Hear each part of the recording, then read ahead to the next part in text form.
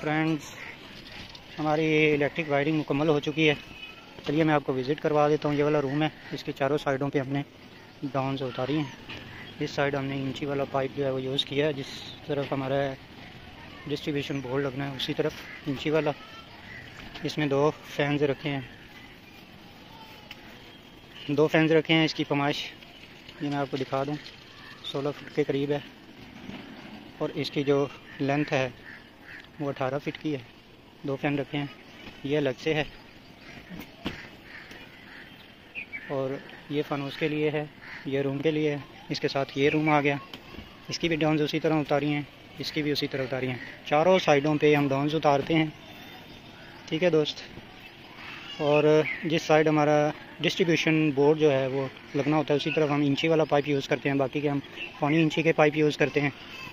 और इसके साथ में एक चीज़ और आपको बता दूँ कि जैसे हमने डाउन लाइट यानी एस एम डी लाइट जो लगानी है तो वो यहाँ से इस कॉर्नर पे, उस कॉर्नर पे ये अपनी मर्ज़ी से सेटअप कर सकते हैं। किस तरह से हमने जो है एस एम डी लाइट लगानी है, जिस तरह ये मैंने लगा दी हैं टी वी लॉन्च में।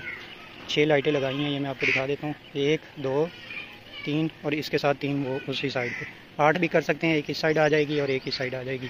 लेकिन फ़िलहाल मैंने छः का सेटअप किया, चार पंखे ऐड किए हैं और इसके साथ एक फनूस तो इसकी मेन के हवाले से अगर हम बात करें कि सबसे बड़ा मसला जो कारीगर को होता है वो नए कारीगर जो बन रहे होते हैं, उनको ये मसला होता है कि हम इसकी सेटिंग कैसे करें, किस तरह से इसको हम सेटअप करें कि हमारे किसी किस्म की भी टेंशन ना हो प्रॉब्लम ना हो। तो ये देखिए, यहाँ से ये टर्न हो रहा था पैनल बॉक्स मैंने वहाँ ऐड किए। तो ये वाला फ़ैन बॉक्स इसके साथ मैंने जो है, वो सारे पाइप अटैच कर दिए। हैं यहाँ से इस साइड हम मेन लेकर आएँगे। इससे आगे जो है वो सारी साइडों पे चली जाएगी। इस तरह इसको मैंने सेपरेट रखा है दोनों कमरों को। इसकी मेन वायर जो है यहाँ से इस तरह आ जाएगी।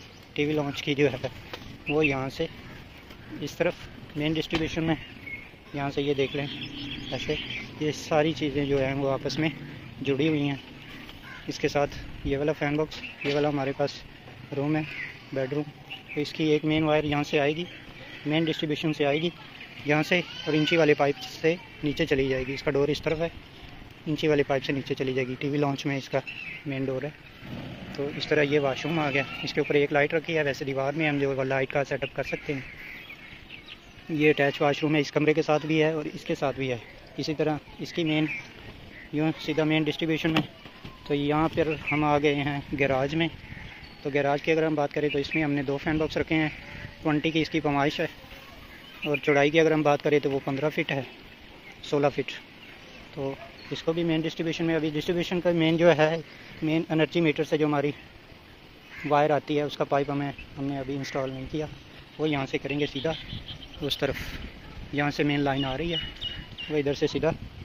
इधर आ जाएगी, यहाँ से कंट्रोल होके ओवरऑल इधर उधर सारी चली जाएँगी तो बिल्कुल इजी मेथड है।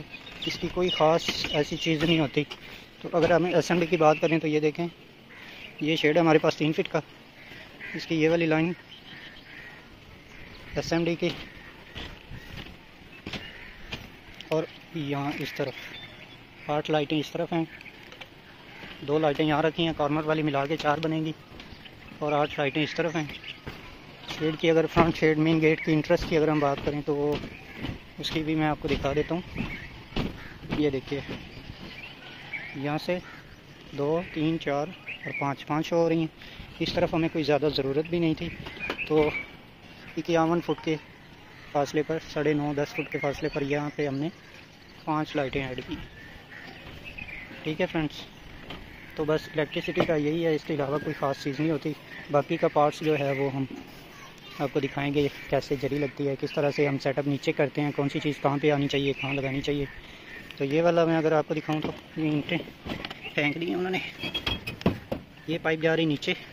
ये हमारे इंटरकम के लिए है यहाँ से इस तरफ़ आएगी डिस्ट्रीब्यूशन में जाएगी और जहाँ पे हमने इसका सेटअप करना है, टीवी लॉन्च में, वहाँ चली जाएगी। तो ये भी हो जाएगा। इसके साथ हम बेल भी यूज़ कर सकते हैं। बेल के साथ साथ इसको हम ऑटोमेटिक ओपन गेट का भी सेटअप कर सकते हैं। तो चलिए दोस्तों, मिलते हैं नेक्स्ट वीडियो में। तब तक के लिए इजाज़त दीजिए, अपना बहुत सारा ख्याल रखिए। अल्लाह हाफ़